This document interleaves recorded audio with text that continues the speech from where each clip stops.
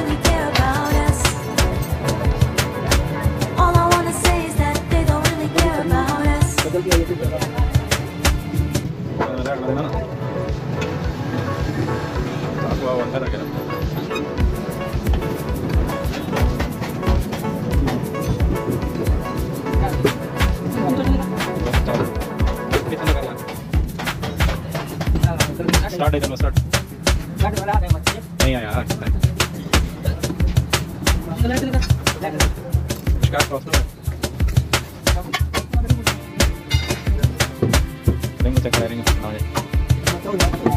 Then the return.